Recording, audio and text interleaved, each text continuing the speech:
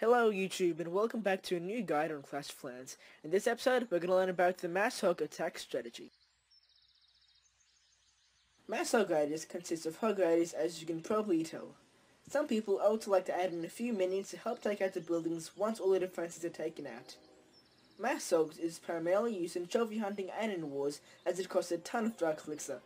Generally you will be using about 1500 to 2000 Dark Elixir per raid.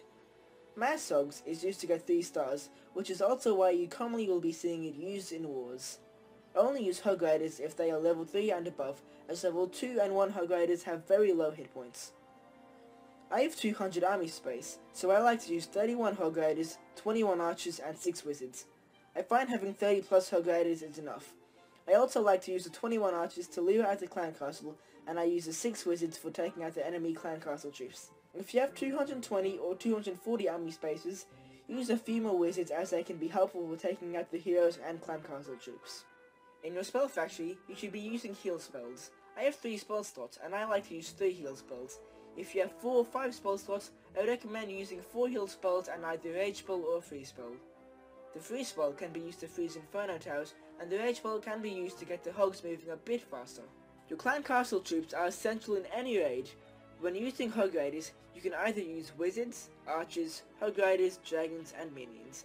Having Wizards and Archers are useful luring out the clan castle and taking them out. Dragons and Minions can also be used to clean up the base once all the defenses are taken out. To use any strategy effectively, you need to know what position each troop has in the strategy, so please read the information I've listed below.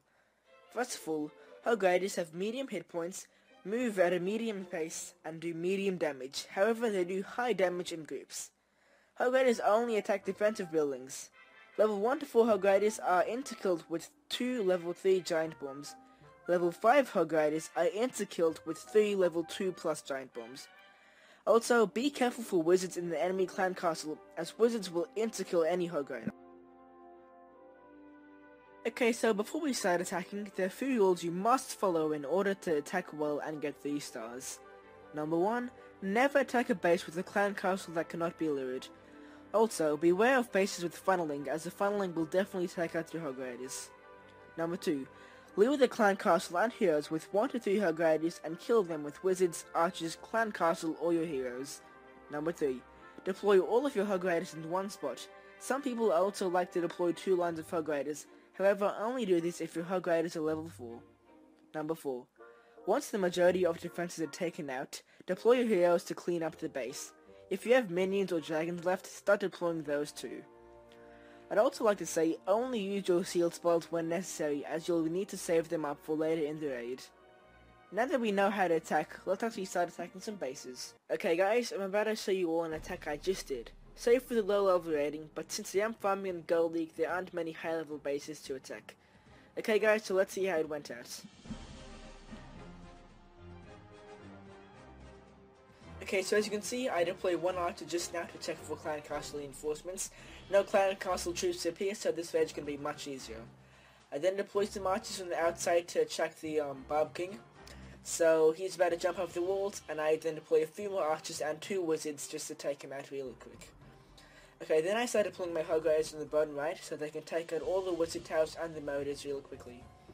So yeah, I just deploy a few archers now, and now I deploy all of my Hog Riders.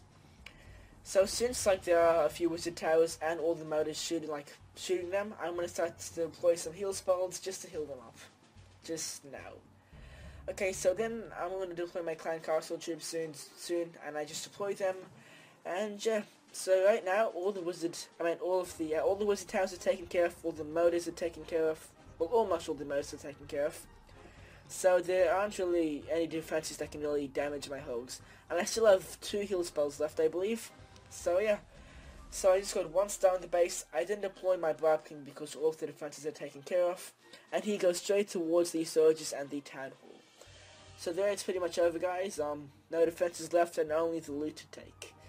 So that was a pretty easy raid, guys. Um, but yeah, as you can see, it's pretty successful. Got about 370k resources, and yeah. Okay, let's move on to the next section. Okay guys, just to summarize, be sure to lure out the clan castle, deploy your spells only when necessary, and try to deploy your heroes last to take out the outside buildings. Okay guys, I'm to wrap it up here. I hope this video provided some information about this strategy. If you have any questions, please leave a comment, and if you want a guide on a specific strategy, please let me know. A bot guide will be coming out next. If you enjoyed the video, please leave a like, a comment, or maybe even subscribe. I hope you all enjoyed, and I'll see you all next time.